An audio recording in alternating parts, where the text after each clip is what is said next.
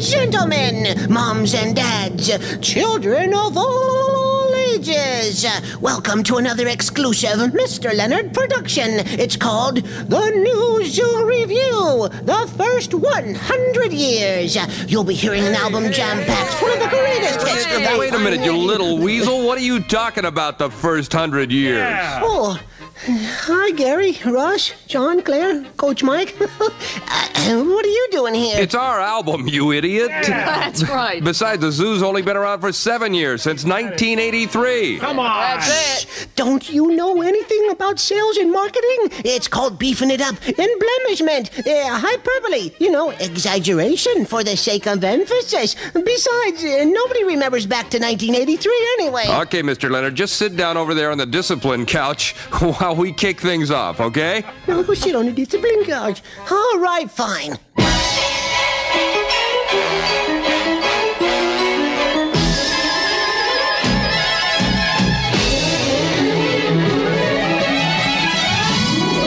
Meet the Zizoo.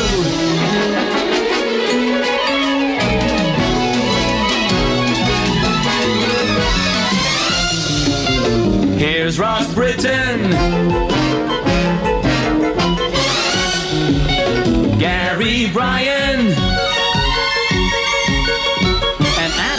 John Bell, Claire, and Mike. Wackos and weirdos and reverts and preverts and bimbos and bimbettes there too.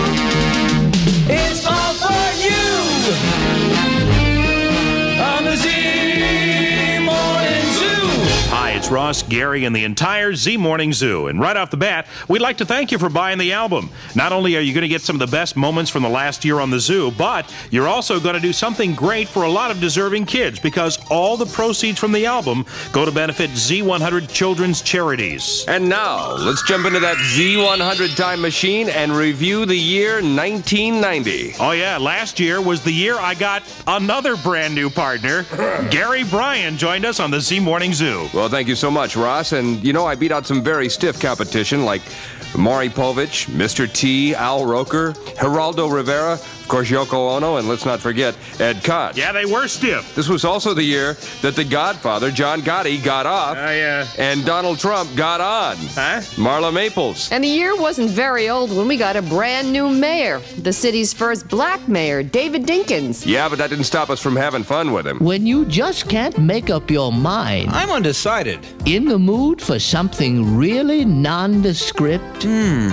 If you don't like anything at all, but feel like you gotta have something, head on down to Dinkin's Donuts. Dinkins Donuts.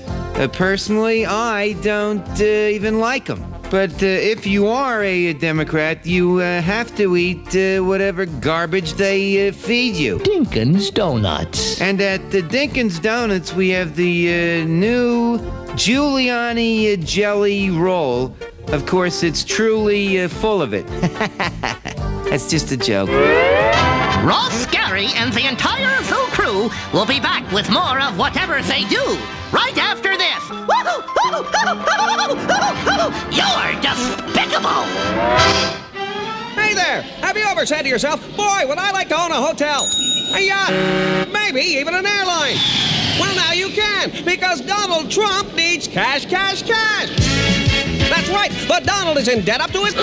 So he's having a fabulous one time only Kiss My Assets Goodbye sale. Yes, everything is slashed to sell. Buy the Plaza Hotel, originally $400 million, now just 299, 999, 999. Want the castle? No hassle. Get a hotel with a big T on it, a plane with a T, a casino with a T, cups of tea, Mr. T, golf tees, and the ultimate tees, Marla Maples. And look, even Marla's jeans are half off. It's a terrific sale. So hurry, hurry, hurry, because the Donald just wrote a new book, and he's up to chapter 11. Yes, he's got trouble. Right here in New York City, with a capital T that rhymes with D, and that stands for debt. It's Donald Trump's Kiss My Assets Goodbye sale. Because, like Merv Griffin says, Ross and Gary! Forget the Grammys, forget the American Music Awards. That's foreplay. This is the show right here, okay? Z100!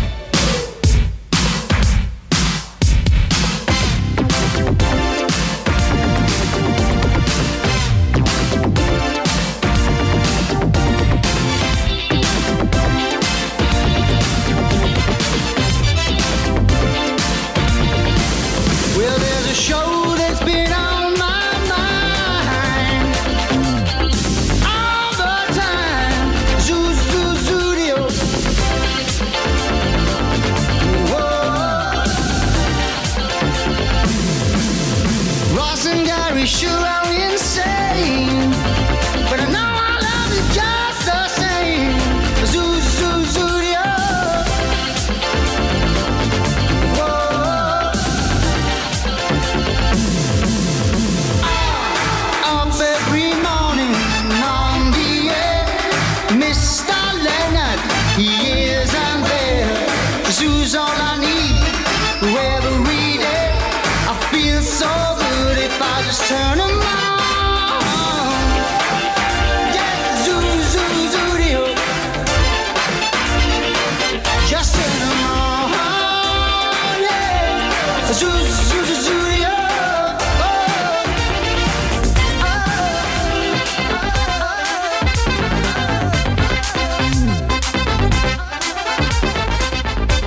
You know, guys, as I look back in 1990, I'll never forget my first day on the Z Morning Zoo when who should walk into the Nut Hut but William Shatner. Oh, yeah. Captain Kirk. He had a copy of his new book. Now, what what was it, Ross? How to eliminate Klingons in the 21st century? Tech Wars. It was Tech Wars, Gary. Oh, yeah, right. But you know, we had a bigger surprise for him. We arranged a reunion with an old pal from Star Trek. One of your co-stars on the Star Who's Trek that? series, Mr. Scott James Doohan is with You're us. Bring him in the room. kidding me. Yeah, come on. Jimmy! Hello, Captain. Hi. how you doing, sir? How are you, Jim? What are you doing here? I've got no power. The matter anti-matter reactors are going into overload. Oh, cut it the out, Jimmy. dilithium crystals won't Jimmy, hold cut out. it out. No power. We got an hour of power at the most. professionally. Professionally, what have you been doing professionally? Well, things have been a bit slow since the since the movie. Wait a minute, Jimmy's Cut, cut the kidding around. will Now you? you went on to do that uh, Barbary Coast thing, but did you call me? No. I would have called you, Jimmy, if I had your number. Yeah, right, right. Then of course there's the there's the T.J. Hooker thing. Yes? But did you call Mr. Scott? No, but you can't run. he can't run. Oh, I'd have been a great guest from Scotland Yards. Well, that's true. I hadn't thought of right that. Right next Jim. to Heather Luck. It'd have been great. and then you get your rescue 911 Yes? thing. Do you call? No. No, no, no, no, no. I no. didn't know you needed emergency help. Oh, throw me a bone, sir. I mean, not even a margarine commercial, please. Actually, you got a, you got a book here. You're right? poking fun at a guy who makes a living. I don't understand that, Jimmy. Let's take a look at the book here. Yes. Let's see. Mis- Mr. Scott, Mr. Scott, Mr. Scott. Pretty Oh, See no. Mr. Scott here. Not in the book. No, that's true. There's no Mr. Scott in I'm the afraid book. not. Jimmy, I'm I'm terribly sorry. Oh, thank you. Will you ever forgive me? Oh, maybe, maybe, possibly, sir. Possibly, sir. You gotta make it up to me, sir. I'd like the green girl, you know, the one from the episode. All right, fine. Well, this is Detective Barney Fife here, and every professional starts his day by listening to the Z Morning Zoo with Ross and Gary. And if you don't do it, you're not a professional. You got that? So just nip the whip in the bud. Just nip it, nip it, nip it, nip it, nip it. Aunt Bee does. Don't you, Aunt Bee? Yes, Bonnie, I do. Ross and Gary. Good morning. Z100. Good morning, Z100. Hello, Gary, Ross. Mr. Mr. Leonard. Is that you? Yeah, we can barely hear you. Well, I can barely hear you. I can't understand it. What's the problem? Well, uh, I'm talking to you on my brand new Sports Illustrated sneaker phone. yeah. Phone? High tops, of course. yeah, I'm wearing it right now. Oh, no. Oh. That's great, but y- you're talking to the bottom of the shoe. We we can hardly hear you. Yeah. Get get the clo- get the phone closer to your mouth. What'd you say? Get the phone closer to your mouth. Get the phone closer to my mouth. Yeah. Right. Okay, hold on a second. Oh, Miss- How's that? oh man, Gee. That's not what we meant, Mr. Leonard. Take the shoe off. What? Take the Hold shoe. on a second, hold on a second. Let me take the damn shoe off. Yeah, good idea. That's it. Hold it? Ah, Oh, I got a knot. Oh, come on. I on. got a knot in my shoe. my sneaker. There he is. There he is. What is he doing? This guy is. You dropped the phone, Mr. Leonard. It looked like a pretzel. okay. Yeah, that's, that's not bad, is it? That's that's much better. That's a pretty good deal for a subscription to Sports Illustrated magazine. Yeah. Yeah, and the one other. Oh, wait, wait, wait a minute. Oh no. Oh, there's something in my ear. Hold on. Oh, no. What's the problem? Oh, that's terrible. I knew I shouldn't have used this thing to go out and get the newspaper. Oh, oh no. I think I stepped in something. Oh, Mr. Leonard. I'll call you back, and don't call me in the meantime. 'cause I'll have to answer this thing. Bye. Okay, goodbye. I'm on my way. And now, Z100's hidden microphones take you behind the scenes, inside the jury room of the John Gotti trial in New York. This guy is so guilty. Lock him up. Hang him. Guilty as sin. Put him away. Put him away for a while. Guilty. All right. Hang him. All right, all right. Pass in all your votes, everybody. All right. Bossy. Not guilty. Not guilty. Not guilty. Not guilty. Not guilty. Let's have a cheer for all the fellas. Do just what the Godfather tells us. Rip off an arm, mess up a face, then drag his butt all over the place. Courtrooms pumping, DAs jumping, still can't find all the bodies we're dumping. Garbage contracts all up, just sending the boys in Boston up. Families out in Ozone Park, busting balls while the night's still dark. You know we control all the broads and the booze. We'll make you an offer you can't refuse. Union leaders, you better listen up. We got John O'Connor shot in the butt. The Gambino family's got all the luck, so come on, Godfather, let me bust them up. Come on, huh? You keep that up, sweetheart, you'll be spitting chiclets in the morning. You know what I'm saying? I'm gonna bust you up, huh? Bada beep, bada boop, bop, bop. A little bit of this, a little bit of that, hey, no problem. We always grant you your last wishes before you sleep with all those fishes. Kissing her lips when you're ready for bed, you pull back the covers, oh, a horse's head. Pay off a witness, you can't knock it. Testify, we'll put a rocket in your pocket. Jimmy Hoffa thought he had us beat, but our concrete solution was end zone. Using ball bats, busting kneecaps, got brass knuckles if you really need that. Punching stool pigeons before they squeal. A silence 38 is a hell of a deal. Sword or shotgun will make you sob. That's what you get when you cross the mob. The Gambino family's got all the luck, so Godfather, please let me bust them up, huh? Hey, come here, meet my friend Joey Tree Fingers. Yeah, you keep that up, I'll hit you so hard when you wake up, your clothes will be out of style. 1990 was the year America's Funniest Home Videos became America's number one TV show. But the funniest home video never made it to the show. Rob Lowe's video taped in that hotel room in Atlanta. And when Rob decided he finally wanted to talk about it, who did he talk to in his first major interview?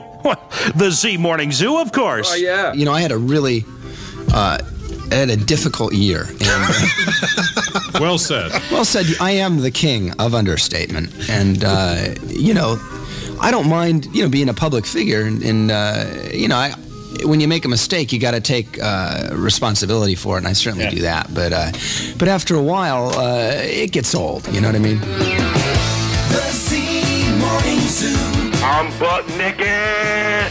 On Z100. You can touch this. You can touch this. You can touch this. You can touch this. My, my, my. You can touch this. Every time you see me, my zipper is on duty.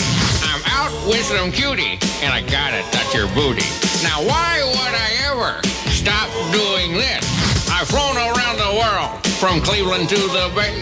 It's zipper go my zipper. That's right, you guys can kiss my A. You can touch this. You can touch this. You can touch this. Break it down.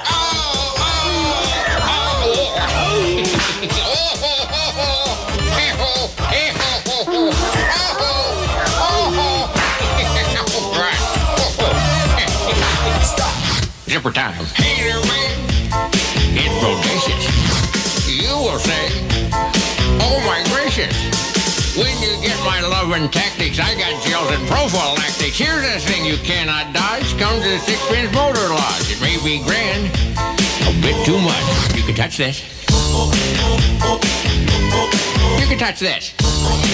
oh, oh, oh, oh. touch this. Oh, I think so. Then don't be shy. you can touch this. There's plenty for everybody. You can touch this. Oh, I think we got the Grand Teton in effect. You can touch this. Every day.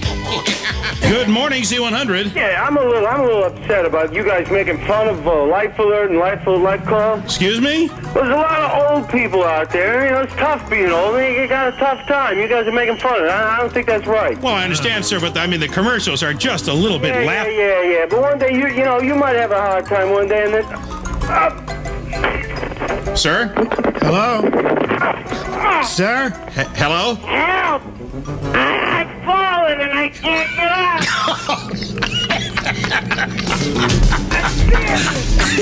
I've fallen. Can't get up. Thank you for calling, sir.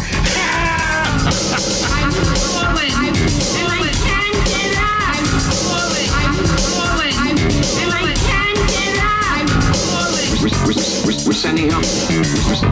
sending help. We're, we're, send, we're, we're sending help. We're sending help immediately, Mrs. Fletcher.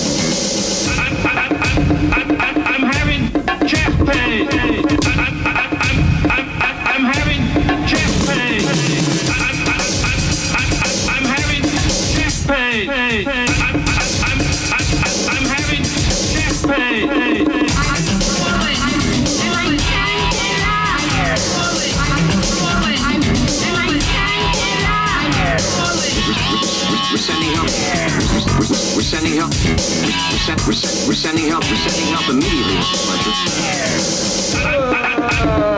I'm having chest pains. I'm, I'm, I'm having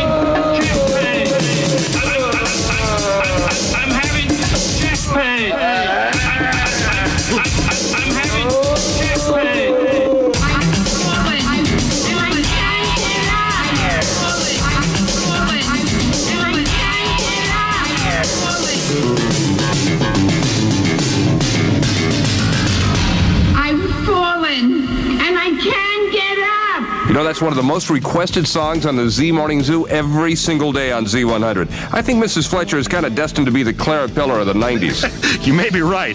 And you know, we've interviewed a lot of celebrities, but there's nothing quite like the rush you get when you pick up the phone at 7:30 in the morning and there's Bill Cosby on the other end. That's right, Ross. Bill and that cartoon upstart Bart Simpson were neck and neck in the ratings in 1990 when Bill heard the Morning Zoo talking about the controversy surrounding the mural on the opening credits for his show. So the Cos called up the zoo to explain he hadn't ripped off the kids who'd done the original. As far as I am concerned, as far as the show is concerned, the, the, the children have been uh, misled by this lady. There, there are contracts that were supposed to be negotiated on. Uh, we didn't rip them off. We put things in our mural that they don't have. We put Mother Hale in there. We put uh, there was a hypodermic needle with the Ghostbuster thing, and then there's a dead body beside it. Well, the message is is there. Then we have a family, and then we have Mother Hale and the word excellence and other things. I just feel that these kids are being uh, misrepresented by this person. It, it'll go back on the air. Right. But I wanted to go back on the air when these kids have an understanding that that mural was put up there to give them some pride and something that they can say, you know, we're responsible for this and not. Listen, you know, give us some money for merchandising, and uh, this is, you know, you feel like a guy driving a train. You look out, and there's little ponies and little kids with guns looking up, saying, "Throw down the, that box." but every every I was just upset because when I got now this is this is the truth. Uh, not that the other stuff isn't, but I'm in the in the truck going to work, and the driver's face is on the floor. He says, "Boy, they're really beating you up, aren't they?" I said, "What are you talking about?" He said, "Well, I was listening to, and this is the truth." He said, "My my favorite uh, program in the morning is the Z100," and then the guy read a thing, and he said, "Well, you know, it's a shame those people with all that money, and uh, they can't give it, give some of it to the kids." And I said, "Well, man, you know, when you read it in the paper, by the time the Daily News finishes, leaving out the Buster sign and making this woman sound like she's really uh, something hot to go, and then you put the kids on TV, and they're going, well, he owes us money because they're stealing the merchandising. We've never merchandised anything in all the years that we've been doing the show. So I just wanted to get to you guys and say, well, thank you very much for the time you, you've given me. I'd like to call the next time and just talk about nothing and just act silly. you know? My, my, my rating soaring sky high. Stupid Bart's gonna cry. Thank you for making me show you up, cause I'm Cosby feels good. To whoop your butt, cause I got a show you can't touch. It's Cowabunga, Bart. Totally crazy, man. Can't touch me. I'm Cosby. Who the hell are you? Bart Simpson. I'm Cosby. Who the hell are you? Bill Cosby's TV show. So bad, makes me say I'm being had. Well, thank you for showing me. If you watch Bill's show, you're dumber than a tree. Hey, Bart, unplug the TV. You'll learn about life by looking at me, not Cosby. Turn it down another notch, because this is a show you can't watch. He's such a wiener. Don't watch that. They're worse than the Brady's. Don't watch that. Marge! Whoa, mama. Don't watch that. Eat my shorts. You're listening to the old and the new Z Morning Zoo Review in the last 100 years, 1892 and 1990. Phew. What a mouthful! Good morning! Jeez, got a lot of nutcases in here. Z100! Yo. You, uh, Mr. Leonard. I know what you're going to say, yeah. but right now I'm on my way. Oh, yeah, right. Yes, you won't have to shoulder the load today. I'm calling from the, my cellular phone in my long green Pinto, and I'm on the Cross Bronx Expressway, and I'm rolling, baby. What, well, what can we do for you if you're almost here, Mr. Leonard? Well, don't do anything till I get there. Wait a minute. Uh -oh. What's that sound, Mr. Leonard? Hold on a second. Oh, shit. Ross, this is all your fault. What do you mean it's all my fault? I was talking to you. I didn't watch how fast I was. I better pull over. Uh, Mr. Leonard, is that a policeman? Oh, good guess, Ross. Here he comes, and he looks mad. May I see your license and registration, please? what? May I see your license and registration, please? Mr. Leonard, he's singing. What is he singing? Oh, God. I think it's a cop rock. you mean a cop rock cop? Yeah, it's a, it's a cop rock cop from the Father Cop Quartet or something. uh, officer, uh, I don't think I was going that fast. I believe uh, you check your radar. He's not saying nothing. He's just staring at me. Well, why, why don't you try singing back to him, man? Oh, yeah, good idea. Okay. I believe I was going the speed limit. You're going 14 miles over the limit in a construction zone, sir. Please test your license. Um, he wants to see my license. Well, give it to him. Yeah, show him. Yeah, good idea. One moment, please. I believe my license is here somewhere. Let me look in the glove compartment. Uh, Please take it out of your wallet. Where's the fire? Why were you hurrying so? look. He's killing me. He's pretty good. Keep your in the car while I check this out. Turn off your engine. Oh, John. He's dancing back to his car. wow. Hey, Mr. Leonard, I'll tell you what, man. Ask him if he knows Mony Mony and get back to us, okay? Hey, over there. you know Mony Mony? That's very funny. I don't do. Did he call me buttface? well, good luck, man. We'll see you when you get in here. Goodbye. I'll be there soon as I can. You don't have to sing to us, man. Oh, yeah, I forgot. Goodbye. Okay, we'll see you later. We lost New York publisher Malcolm Forbes this year and also some very beloved showbiz figures. In fact, two of the greatest, in a bizarre coincidence, died on the very same day. The Muppets creator, Jim Henson, who brought joy to millions of people of all ages around the world, and the legendary Sammy Davis Jr. lost his long battle with cancer. We remember Sammy now, as we did then, with our own version of Funky Frank and Dino. And now here's a, well, it's kind of a nutty, kicky little story about me and Dean and Frank and the time of at the Rat Pack. Thought they would go out and be the Brat Pack, George. Chunka, chinka, chinka, chong. Yeah, babe. Yeah, do it to me, George. Chinka, chinka, chinka, chonka, chinka, chinka, chong. You know, a cat gets to be my age. You're not getting older, you're just getting hipper and groovier. I love you, man. I was hanging out in Vegas, babe, just grooving with the cats. Me and the homeboys jumped in my ride to go check out the acts. I tell my posse they're looking fresh and deaf and hip and clean. I'm rapping like a funky bro, but I don't know what it means. We're tooling down the strip, man. We're scoping out the rooms.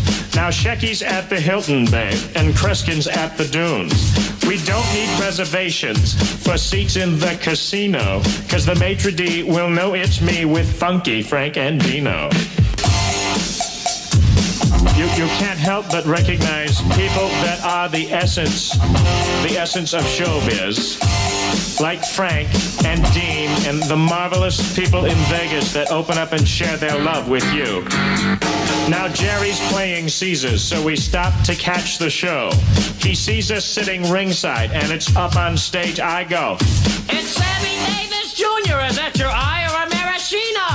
Now Jerry dig, I've got a gig with Funky Frank and Dino. Wayne Newton's at the Nugget, so we stop to check on Wayne.